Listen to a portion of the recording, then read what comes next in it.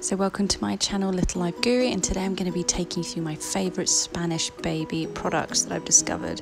So, here are the nappies we found, which are Carrefour nappies. Um, I think they were around about 8 euros. Um, so far, really good, and we've enjoyed them. No leaks. Favourite wipes so far are between these two, which are the Sinsem Perfumer by Deliplus wipes, which is 1 euro 20 and the Eroski Cream Aloe Vera wipes, which are one euro forty. These spoons were recommended to us. I think they're part of a German um, brand, um, which we'd highly recommend. I'll put more details in the description. These are some Mustela Baby Bath Skin Routine products. We've used some of the moisturizer, and she really likes it so far. And if you're looking for something out here as an alternative, it's great.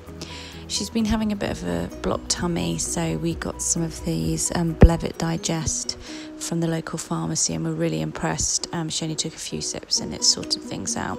And these are my favourite handy bag bins that we've discovered, which are perfumed, which is fantastic in the heat out here and they stop um, the smell of nappies if you're staying in someone's house, which is great.